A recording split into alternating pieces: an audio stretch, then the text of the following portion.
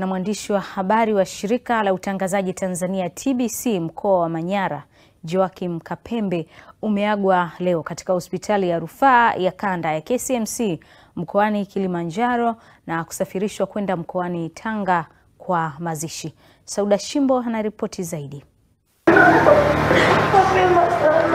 Ni huzuni na simanzi hapa katika viunga vya hospitali ya rufaa ya kanda ya KCMC mkoani Kilimanjaro wakati wa kuaga mwili wa mpiga picha na mwandishi wa shirika la utangazaji Tanzania mkoani Manyara Joakim Kapembe kwa ajili ya kusafirishwa kwenda mkoani Tanga kwa mazishi. Wakizungumza wakati wa kuaga mwili wa Kapembe, baadhi ya waombolezaji wamesema hakika Kapembe ameacha alama kubwa katika utendaji kazi na daima atakumbukwa kutokana na mchango wake.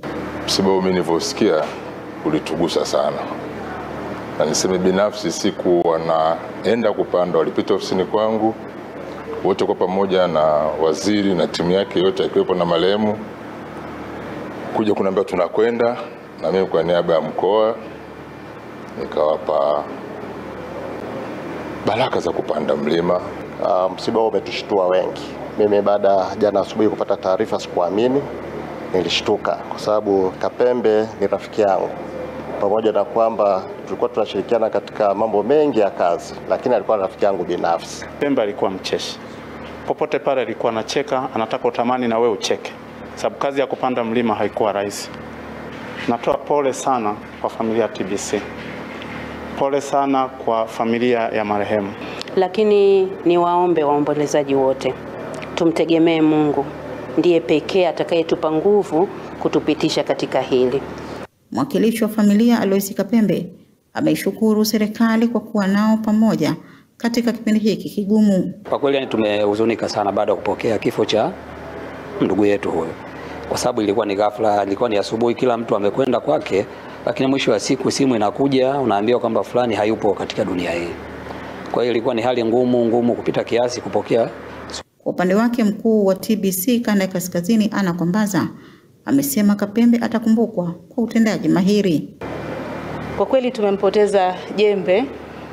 Kapembe alikuwa ni mtu anatumika wakati wote, na hata waliofanya naye kazi mara hii ya mwisho, naamini wanaweza kukiri hiyo kwamba hata alipopanda, taarifa tunazopewa ni kwamba alienda mpaka juu, yeye hakuwa amechoka ile ile uchovu wa mlima, mpaka wanasema wanasema mtu unaugua ile hofu ya mlima. Naambiwa Kapembe hakuwa nayo. Kwa hiyo inaonyesha ni kwa jinsi gani ambavyo alidhamiria kwanza kuifanya ile kazi, alikuwa tayari kulitumikia taifa lake kuhakikisha kwamba uh, data ama mtandao wa internet unazinduliwa kule uh, kwenye kilele cha mlima Kilimanjaro, na hiyo ilikuwa ni lengo lake kuhakikisha kwamba anaweka historia hiyo na yeye katika siku ile, naye afike kule ashiriki katika uzinduzi ule, na alifanikiwa kufanya hivyo. Lakini ndio hivyo, wakati anarudi tukaona kwamba mwenzetu ndio ikafikia mwisho pale, kama ambavyo tumeona. Mazishi ya marehemu Kapembe yanatarajiwa kufanyika kesho Ijumaa katika makaburi ya Wakatoliki yaliyopo kanisa la Kange mkoani Tanga. Sauda Shimbo, TBC, Kilimanjaro.